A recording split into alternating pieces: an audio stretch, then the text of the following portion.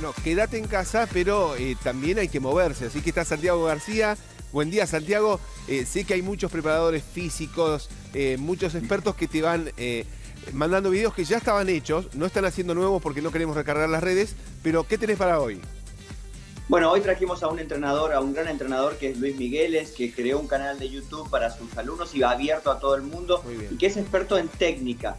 Una de las cosas que se puede hacer en estos días es aprovechar para depurar un poco la técnica. No nada exigente, simplemente ejercicios muy sencillos que permiten mejorar la técnica de carrera. ¿sí? Así que bueno, Luis Migueles eh, nos dio, nos trajo algunos ejercicios A para ver. que podamos practicar. Ahí está el primero, ¿qué es esto? Cuatro veces de un lado, cuatro veces del otro ejercicio para mejorar la Bueno, técnica de carrera.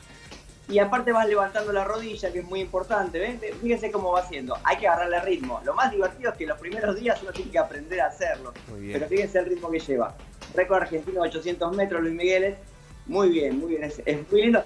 Obviamente, el que no tiene vallitas, agarra unos papeles, ¿sí? dobla unos cartones y lo Perfecto. puede hacer. Nada que no se pueda pisar, por supuesto. Número dos ahora.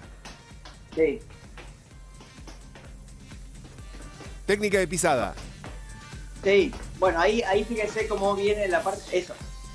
Prese- es- así hay que pisar. ¿Ven? Como ba- baja con la punta para practicar la pisada. Y nuevamente, ejercicio para los muslos, ejercicio para fortalecer todo lo que es la pisada. Miren, muy impresionante.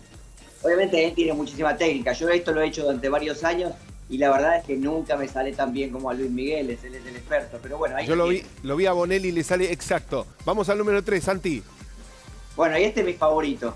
Este A lo ver. he hecho muchas veces, es muy divertido, ¿sí? Hay que agarrarle la mano también. Y es un ejercicio continuo este. Miren, miren lo que es. Es como, un ba- es como aprender a bailar. Después de esto puedes ir a bailar también. No, no, pero aparte ponerle alguna música copada. Bueno, Pa- Santi... parece nuestro- sencillo, pero no Sí. es tan sencillo. Pero una vez que uno le agarra el ritmo, ¿sí? Ahí, uno va haciendo, hace un descanso en el medio. Sí, sí, sí. La verdad es que es un ejercicio, son ejercicios sencillos, son ejercicios divertidos. Uno se va motivando. Luis Miguel es un gran entrenador. Todos los días vamos a traer eh, ejercicios de esta clase. Hay que mantener la motivación.